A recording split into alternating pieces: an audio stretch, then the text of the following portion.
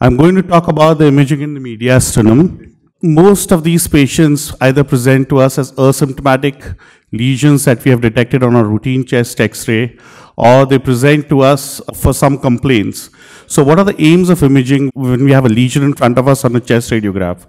First, we need to decide whether is there a lesion, is it a mediastinal lesion, then which division or compartment is it from, what is the content of the lesion, does it enhance, are there any associated pulmonary or skeletal abnormalities with it, and based on these division and description, what could it be? Now, is there a lesion? Is it a mediastinal lesion?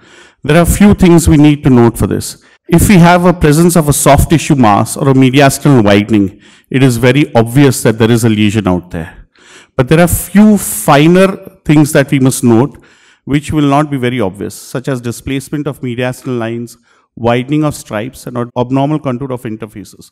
Most of these signs on the chest radiograph because that is what the patient presents with. And we'll go from the chest radiograph to CT as we go along. So this is a very obvious lesion. We see that there is a soft tissue mass, there is mediastinal widening, and I mean, this, there is no doubt that there is a lesion out here. The corresponding CT shows a large lobulated heterogeneous lesion which is there, and this turned out to be a lymphoma. So these kind of lesions on the chest radiograph, there is no doubt that there is a lesion. But when there are subtle signs, what we must look at, you must look at the anterior and posterior junction lines, right and left paraspinal lines, the right and left paratracheal stripe, the AP stripe and window, and a few of the interfaces. I'll show you a few of these examples as we go on because it is important to know these. When it is obvious, there is no doubt, but when there are subtle signs, we must be very careful not to miss this so that we can carry out a CT for further investigations.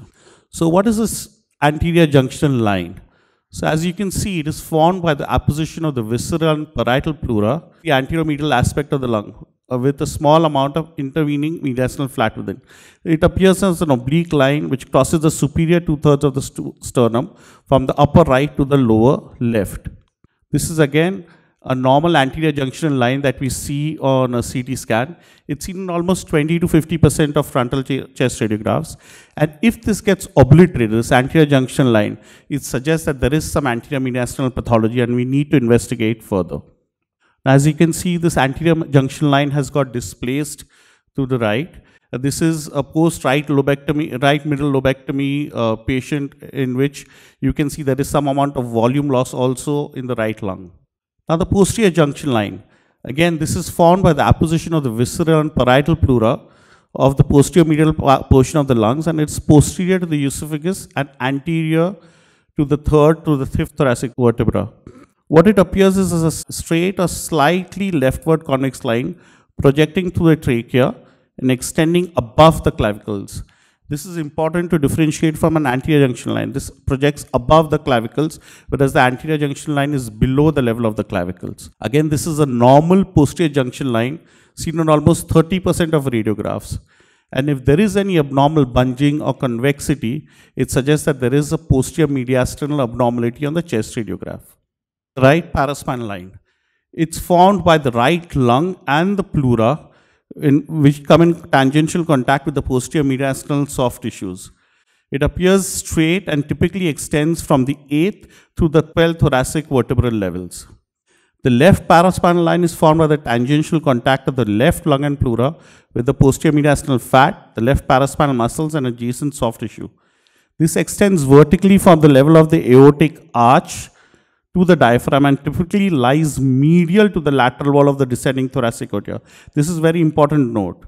But sometimes it may lie lateral to the aorta along the intrathoracic course. On the right side, the paraspinal lines are seen about 20% and on the left, around 40% of the patients.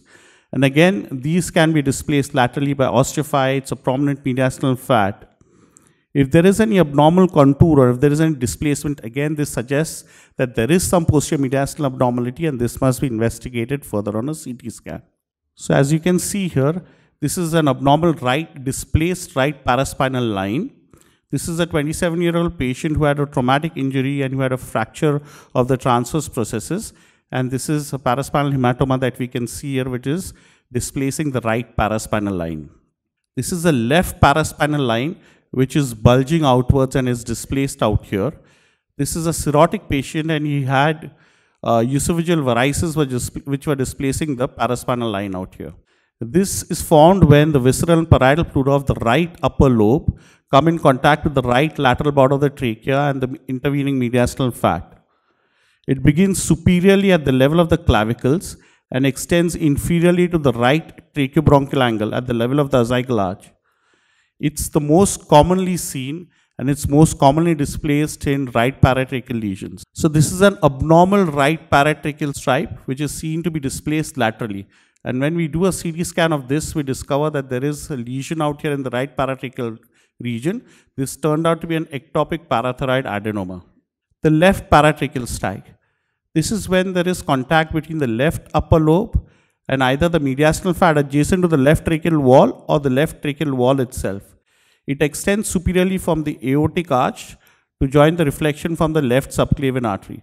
It's visible in about 20 to 30% of frontal radiograph. Again that you can see that there is an abnormal appearing left paratracheal stripe in this region which appears thickened.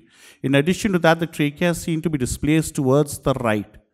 This is a case of a metastatic thyroid cancer with a large supraclavicular lymph node, which is displacing the trachea to the opposite side the posterior tracheal stripe. Now this is a vertical stripe which is seen on the lateral chest radiograph that is formed by uh, the contrast between the air within the trachea and the right lung outlining the posterior tracheal wall.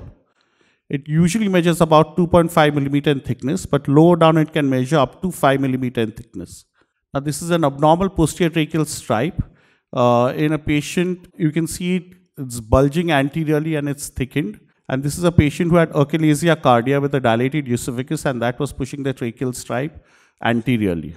The aortopulmonary stripe, this is a mediastinal reflection or interface which is formed by the pleura of the anterior left lung coming in contact with the mediastinal fat anterior lateral to the left pulmonary artery and the aortic arch.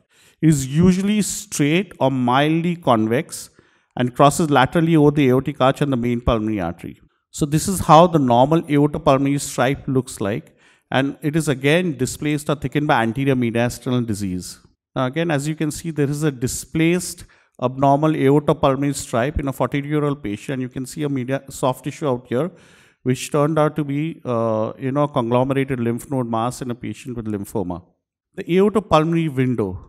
This is the mediastinal space which is posterior to the aortopulmonary stripe. It is bounded superiorly by the inferior wall of the aorta, inferiorly by the superior wall of the left pulmonary artery, anteriorly by the posterior wall of the ascending aorta, posteriorly by the anterior wall of the descending aorta, medially by the trachea anteriorly, and the lateral wall of the left main bronchus and the esophagus posteriorly. So this is a small space which is very important to evaluate. As you can see, there is an abnormal soft tissue which we can be seen in the aortopulmonary window.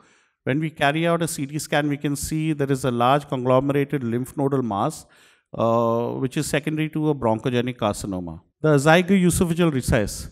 This is the space lying lateral or posterior to the esophagus and anterior to the spine, extending from the level of the anterior turn of the azygos vein to the level of the aortic hiatus inferiorly.